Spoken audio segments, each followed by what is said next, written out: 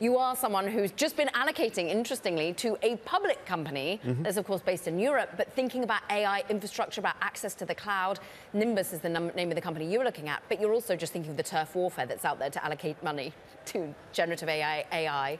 This is just going to add to the party, right? Yeah, absolutely. Well, first, for, thanks for having me on. But we at Accel are big believers that we're only in the early innings of laying down the infrastructure that's going to be required to actually support this massive technological wave of AI. So this uh, committed investment doesn't surprise me at all to see it coming in because we do need that infrastructure. So I'm excited to see more infrastructure being laid down for AI. Okay, where are you seeing the biggest opportunities? You've just made this allocation of, of funds into a publicly traded allocator of cloud. We've got CoreWeave already out there as a, as a big pivot from all these companies that were looking at Bitcoin mining and now getting into the world of cloud computing. But what next in terms of areas that you think are fruitful? Yeah, absolutely. So at Accel, we broadly invest across two different facets of AI. We think about infrastructure, which Nebius is very much an example of that, also investing in companies like Scale AI in the infrastructure layer, helping build the data engine for AI. But then we can't forget about the applications that are going to run on that infrastructure. So we see great opportunities in both enterprise and consumer applications. Our most recent investment in the consumer side of things was into a company called Speak, supporting language learning for AI. Mm.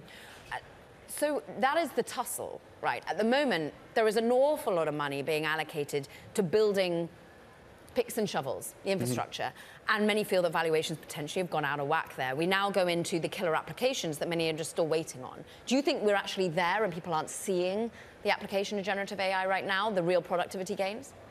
Uh, absolutely. We see it from the ground up, and we see companies that are gaining real traction and driving real value both in enterprise and consumer. So, although it is still the early innings, and a lot of the emphasis has been on that infrastructure, the training to get us to the point where we can actually run inference on these models and get the value out of them, I think you're going to start to see, particularly across 2025 and 2026, applications spring up both in enterprise and consumer that drive real value to, to the end user.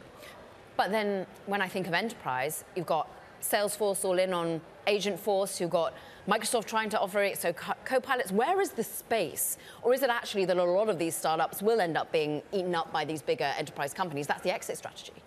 Yeah, it's a, it's a really good question. So uh, speaking on the infrastructure layer with, with Nebius, what we actually see is that by pairing their 400 software and hardware engineers against the problem of standing up infrastructure, but doing it with an AI-specific approach, we're able to offer a level of flexibility that the large incumbents offering generalized clouds just don't have in the ecosystem right. today. So that means that people can come to us that need large amounts of compute that want bare metal, and people can also come to us that just want an on-demand, flexible experience with their infrastructure. So as always, you see the innovation in the early startups tackling some of the holes and open opportunities in the large incumbents. And, and I expect to see the same thing. Salesforce obviously defending its territory, but we see a ton of activity in agentic approaches and apps going after their exact market. So we'll continue to see it. Is agentic AI going to be the next sort of over-allocated area? I mean, we all got way too in the weeds when it came to chip and semiconductors for 2024. When it comes to 2025, we're all going to be parlaying in agentic AI.